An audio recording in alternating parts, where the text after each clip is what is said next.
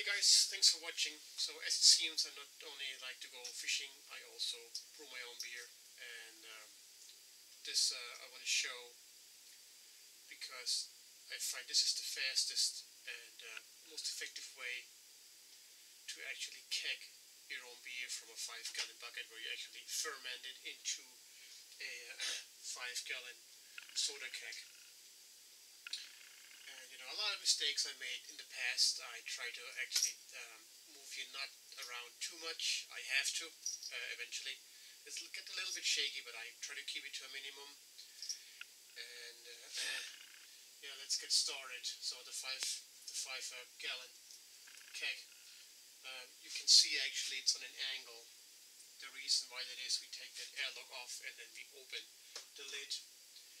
They actually sell things like a hammer on the side and tap it down. But you know, it's I don't know.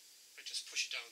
But it's actually really useful because it locks in really good to open it up. So what we do first we take that lock off. It's really done fermenting. I have everything here, so you know the alcohol and, and the hose, the pump to make it as quick and painless as possible. But there's so much information to give to you so you don't make the same mistakes I do. And it'll save you money in the end. Let's just get that up. I'm going to give you a quick look in the bucket and what we're actually talking about.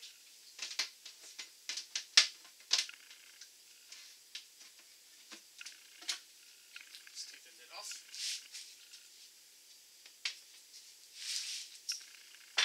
So, I gotta move you quick.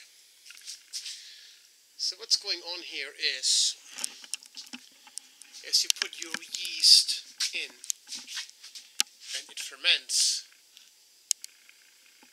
it leaves all those, I know, solids left. I mean, if you're serious about it, this is really bacteria poop because it's a live yeast that uh, starts that fermenting process. So, but this is not all. This is really just probably 10% you see. So the rest of it actually just floats down because it's heavier than the beer all the way to the bottom. And it's probably a half inch layer, maybe 3 eighths layer of bacteria poop from the fermenting process, which is not really that bad. So if this is actually straight, you would have a continuous half inch layer on the bottom, which you, with the pump I'm going to show in a minute, you're siphon up some of it, getting it into your keg. So I didn't like that a lot, so I came up with the other solution with those spouts. Okay, let's get you back here. I'm going to show you about the spout problem sure that can be seen from here.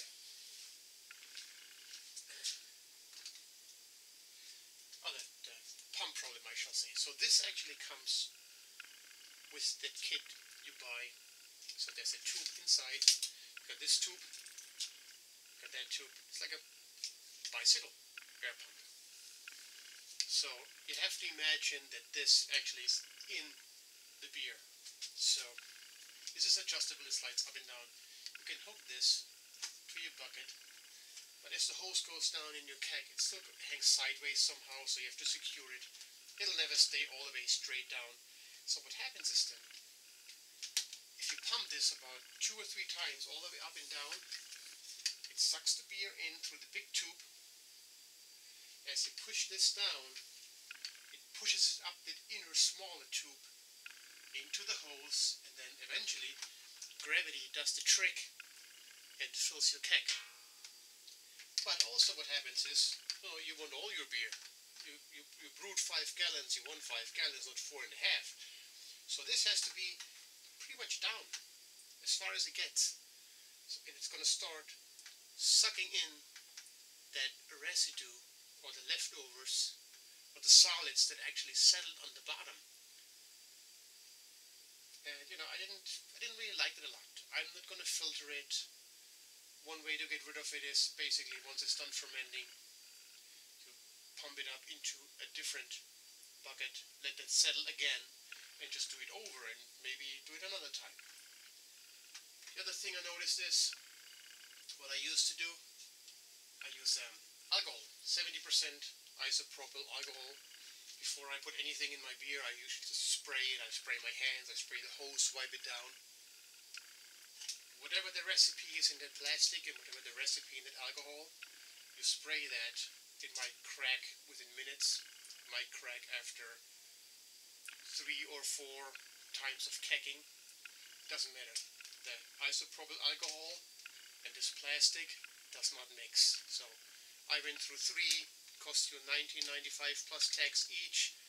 Don't do it. Either use it the way it is, but do not spray alcohol on it.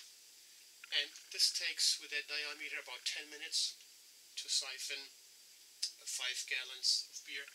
So I put that aside about a year ago.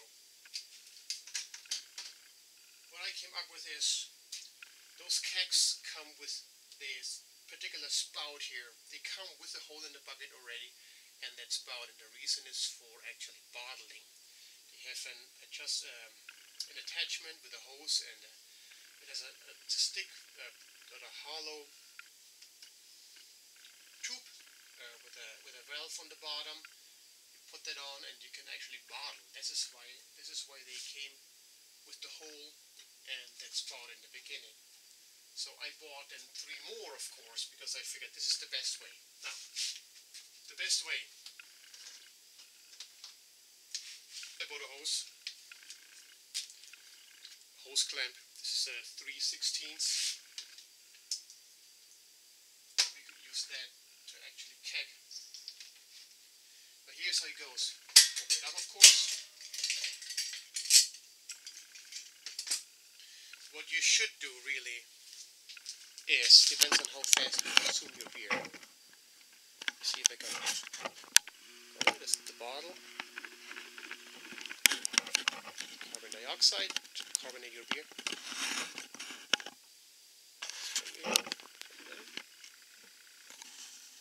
We to 10 pounds. So I close this. I'm gonna use this one. There's no, there's no uh, actually attachment there, like this gray is for gas, and the ones that come out of the keg to your uh, that is black. So gray, gas, black beer. So I'm going to close it first and open this, open the bottle. Now when I adjust it to 10 pounds by screwing that screw in to create more pressure. 10, okay. I put this in. The point is you don't want any air in there. So uh, I open it, let the gas drain and as it drains into the keg, I'm going to pull it out slowly. So I also get the, the other hose in right away.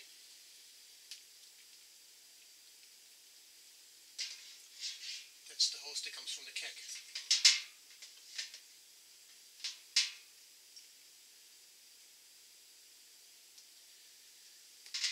So just to speed up the process, So this is the hose that comes from the keg. It's not connected yet. Quick. Easy. Just goes on like this. 3 16 hex. Clamp it down good. You don't necessarily want any air going in and uh, introduced in the keg. It kind of defeats the purpose of putting a carbonation in there, or uh, carbon monoxide, uh, carbon dioxide.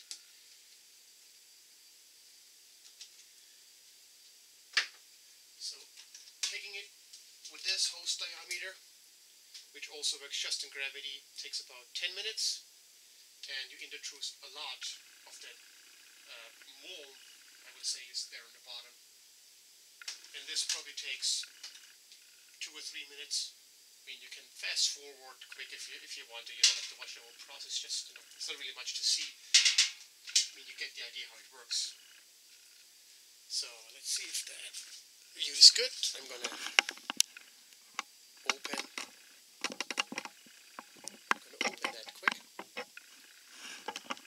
Maybe I can zoom out. So you get the idea. I will open that, the carbon dioxide, and as it goes, I'm gonna pull that red hose and let that just fill slowly. Yep.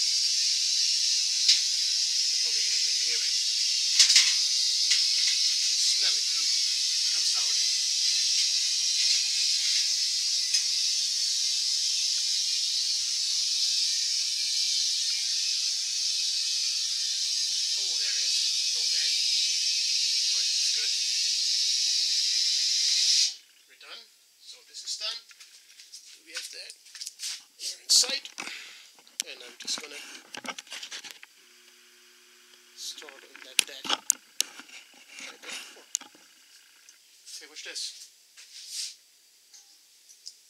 And there he goes. And that goes really quick. Get you there.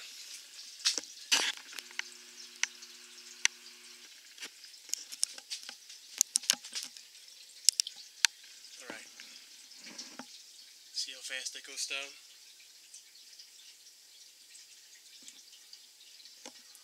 Yeah, it's really good. So if you wonder, this is the point where you can fast forward like a minute or so, or two. To get the idea how that works. And then once it's done, maybe I can actually show you the inside of that. Once it's down, I want to show you what's actually happening there on the bottom to explain that explains even further why this is in an angle, why the bucket is in an angle. I have to look in there also. Okay, it's going. So now we are actually pointing forward to where the spout is.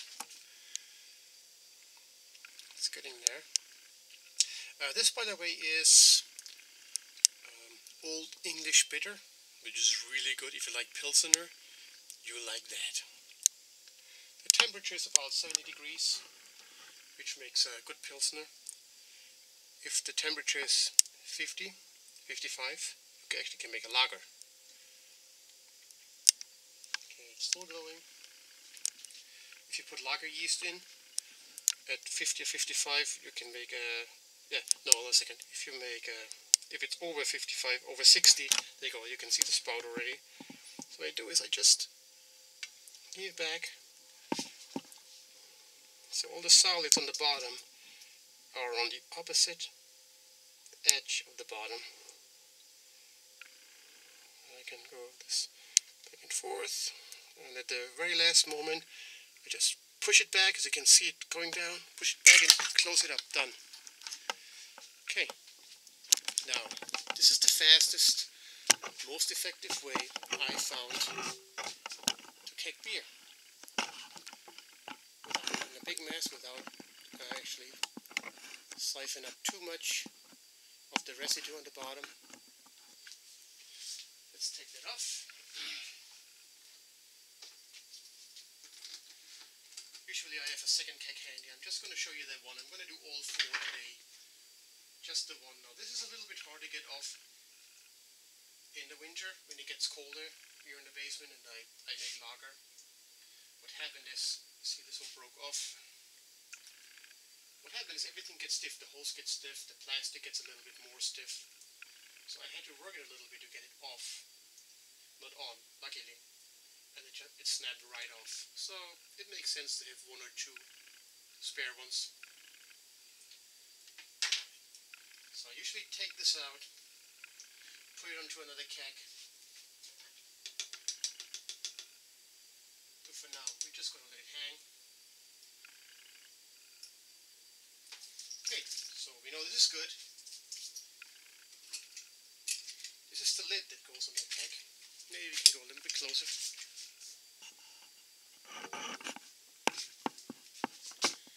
A little closer there, alright, that's it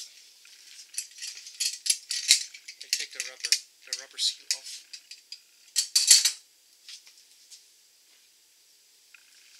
sure if this is all this in the camera. Yeah, petroleum jelly. Take take a good fingerful. Just rub it on. Keeps it nice and you know flexible, soft, or it helps seal and it's not harmful. Okay, this is good. Put it back on.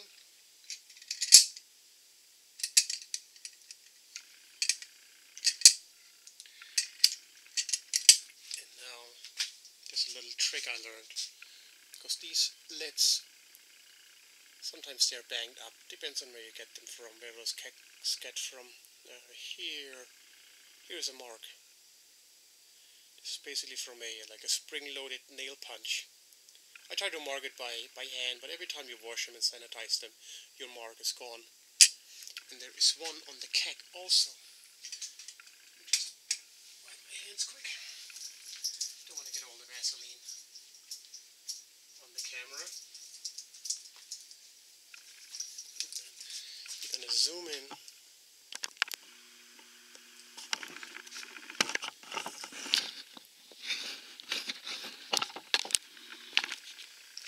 can see that. Depends on where it is. Okay, it's on this side.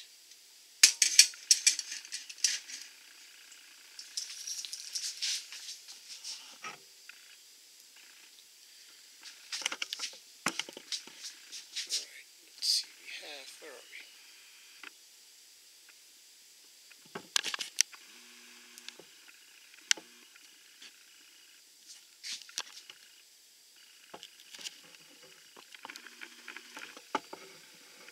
So we have one mark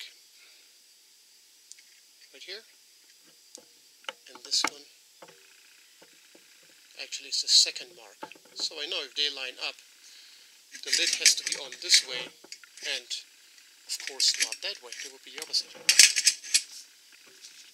Pretty straightforward.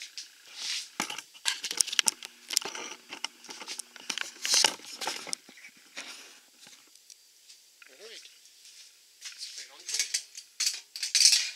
And then we're going to seal it. Make sure it's really centered so you pull you pull up, just work it in, then bring it down and lock it. So as it creates pressure, it pressurizes the rubber against basically the inside of the keg. So the more pressure, the more it will seal. So we take this, put it on the in,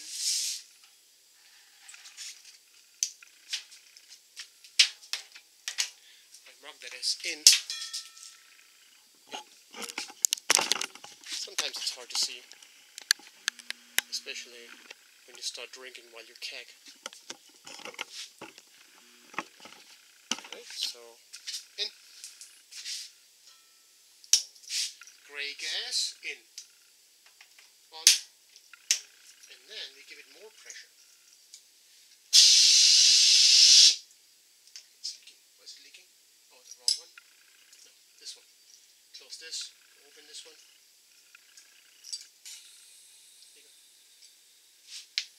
So 10. Now we let it burp because if there's any air trapped in there on the top, I want that out. So let it burp. Another one. And another one. So I would think by now there's probably no more air in there. If you drink it fast enough, within a week or two, you don't really have to start with filling the whole keg with a carbon dioxide. It won't hurt it, but I always have it burp. Now, what I do also is I'm going to crank that up to 30 pounds, so make sure it's tight by you know, little stumpy driver and crank it up, crank it in all the way to 30 pounds. That's it. You listen, it's good. I can't hear any leaks. Take it off. And they are actually have a check valve. They have a check valve, and there's a check valve in a, those shut-off valves. So if you lose pressure on the hose, and I don't know, you, you hold it in, you kick in an angle or whatever, it will not drain beer back in the hose or in the bottle. This is the first line of defense. They have all check valves, so there's no problem there. And this is it. This is, for me, I think the fastest way to keg five gallons of beer. Then of course you can use the, the alcohol, you know, clean your hands, clean the hose off before you put it in. It's not le- leaking at this time. Uh, we talked about that spout. And uh, I think that covers the kegging. I see all that crap there. Let me go behind the camera. See all this. Part of it actually would go in if you do it with that regular siphon pump it comes with. But if you if you use that spout, it's you can control it much better. And as long as it ferments, keep it in an angle. Keep it in an angle so all that stays more in the back than in the front. That also helps. And, uh, this is how I keg my beer. So, any more questions? Give me a call and uh, I see if I can help you. Thanks for watching.